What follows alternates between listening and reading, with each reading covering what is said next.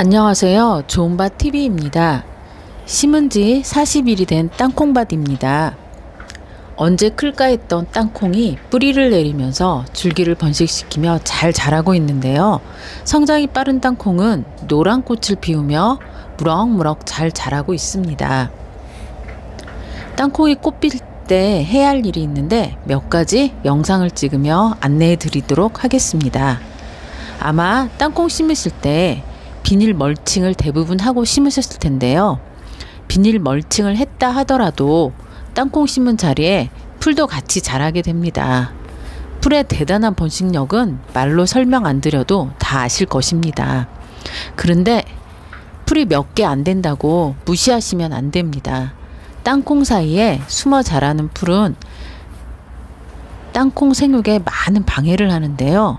늦게 뽑는다면 땅콩 뿌리보, 뿌리보다 깊게 내려서 영양분 손실로 생육에 지장을 주고 뽑을 때 땅콩까지 뽑힐 수 있기 때문에 보일 때마다 뽑아 주시는 게 최선입니다. 일반 작물은 꽃이 피고 열매를, 열매를 맺게 되지만 땅콩은 꽃이 수정이 되면 자방병이 생기는데 이 자방병이 땅속에 들어가야만 땅콩이 달리게 됩니다. 자방병 관리를 어떻게 하느냐에 따라 땅콩 수확량이 결정되기 때문에 꽃이 피게 되면 비닐 멀칭을 찢어 주어서 자방병이 땅속으로 들어갈 수 있게 해줘야 해요.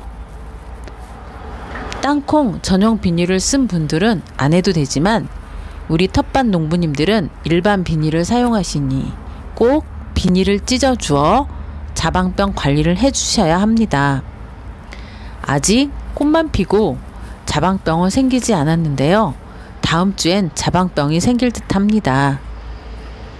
자방병이 생긴 후에는 자방병이 땅속으로 쉽게 들어갈 수 있도록 도움을 주기 위해 북주기를 해주시는 게 좋고 보통 2회에서 3회 해주시는 게 좋습니다.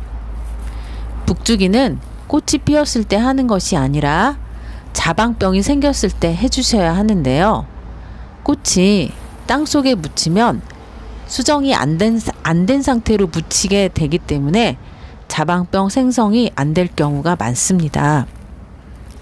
마지막으로 추비를 해주시는 것이 생육에 도움이 됩니다.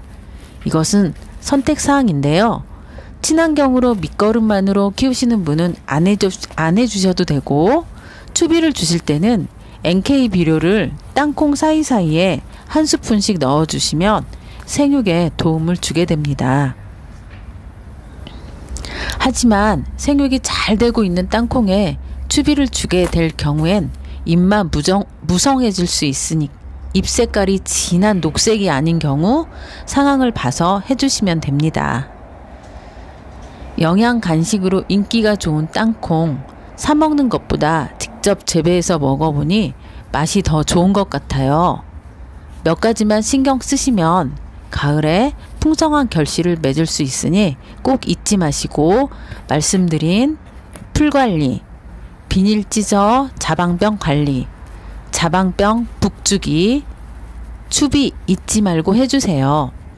영상을 보시고 도움이 되셨다면 구독과 좋아요, 알람 설정 부탁드립니다. 시청해 주셔서 감사합니다.